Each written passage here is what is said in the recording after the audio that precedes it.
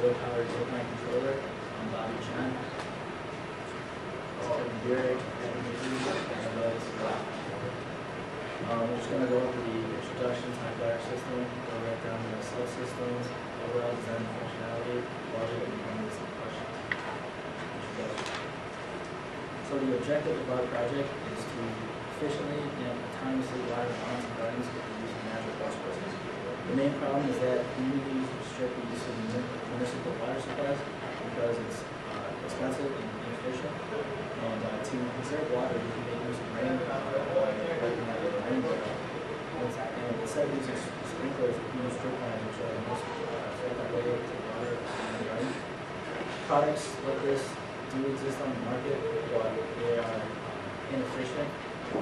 They uh, require frequent battery replacement and they can use up water unnecessarily. So our goal is to create a product that solves these problems while making use of natural resources. Um, Solar panels is a good source, or solar power is a good source of energy. The right of solar panels, we can produce enough power to power this complex. Uh, we also look into hydro power, such as micro hydro generators, but for our project, we decided that it was not cost effective and really not necessary to create a lot of power. So our solution is our solar powered remote controller. This is our prototype of it. It, uh, as you can see, the user interface is on top, and we separated our electronics on the top box from the valve. Uh,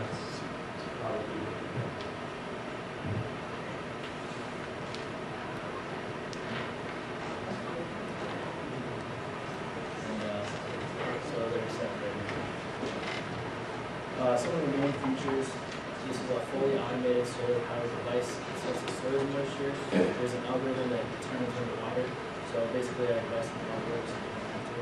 Uh, easy installation, connect it between rain barrel and a drip line, and just install it right away. Uh, you can also, the user can also manually control the watering, just a simple press of button.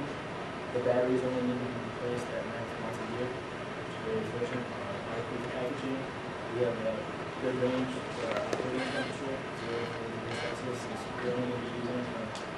fall. And like I said before, electronics are separated from the. Subsystems. The user interface, this is a diagram of what it looks.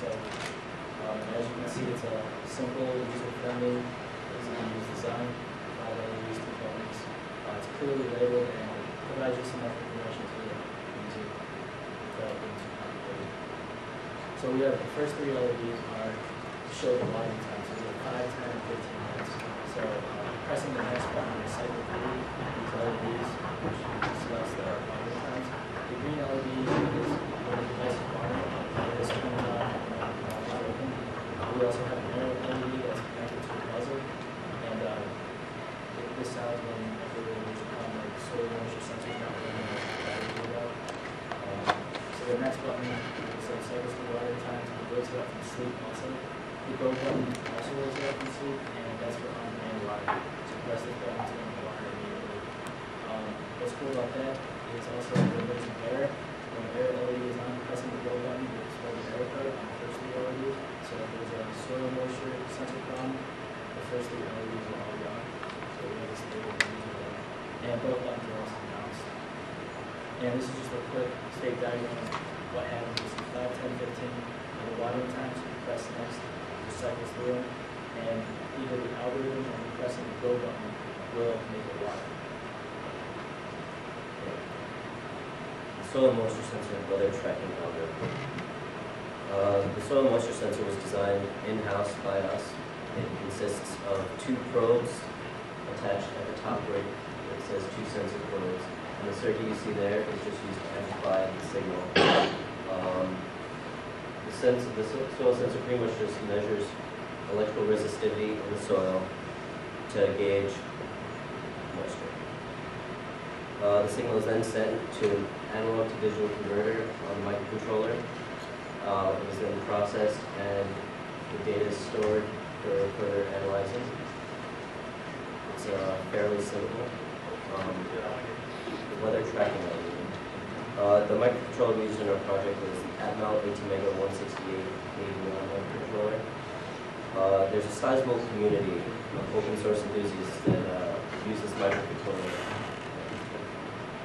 And it has a large open source community behind it. There's a lot of forums. It's, it's, it's quite a Arduino is an open source electronics prototyping platform um, based on flexible and easy use software, and it has been developed by this community. Uh, the, the microcontroller is programmed using a C-like programming language in the Arduino environment. Uh, the development environment. Um, it, was, it was kind of interesting having to debug the system once we integrated with the UI because the Arduino open source developing environment was very simple and wasn't fully featured, so it did not have any kind of debugging software. Debugging the system involved writing to LEDs at various points throughout the code to pinpoint the exact problem, and then further research and reading into the Atmel data sheets and uh, the Arduino uh, reference guide. The purpose of the weather tracking algorithm is to determine when to open the va- valve based on data from the soil sensor. It also checks abnormal behaviors such as inaccurate sensor input and puts the system into a power saving mode when necessary. This is a state diagram of the weather tracking algorithm. When the system is first powered on, it defines and initializes any variables.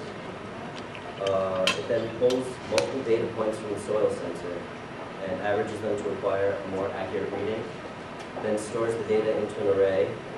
Uh, It analyzes the data by comparing it to a threshold. It then makes an an intelligent decision as to whether or not it needs to water. Uh, If it does need to water, it goes to a complex state, the watering state, which involves opening, charging capacitors to open the valve. Uh, Then it repulls the system to get more data. If it needs further watering, it will continue to water. Uh, Once it, the data reflects that the soil is in fact moist, the system will then go into a sleep state for five minutes and then repeat the process. So every five minutes, our system is actually checking soil moisture, so your soil moist. Uh, That entire loop can be interrupted through the buttons from the UI, which both wake the system up from the sleep state. If an error does occur, the system must be reset. All right, uh, I have a on this project. Um, Some features that it has, that it has a pre-regulator taking power from the solar panels and uh, get it down to five volts um, all the time, so that it doesn't blow out any of our uh, subsequent levels of power pollution. Uh, We have a temporary storage stage that uses a one and a half farad supercapacitor to try to get through probably shower days, um, even uh, charging the batteries because um, a longer battery charge is a better one, basically. Um, It charges those batteries um, with a smart algorithm using a Dallas DS2714 chip. It charges each of the batteries individually uh, and make sure it doesn't overcharge them. And it switches between capacitor and battery power depending on power availability. And it provides a constant five volts um, at all times. And on demand, it can provide twelve volts uh, to the it. Uh, We've got a simple little power supply overview here. It's not very simple. The solar panels are six um, copper indium and diselenide solar panels arranged uh, three in series and then those go in parallel with each other.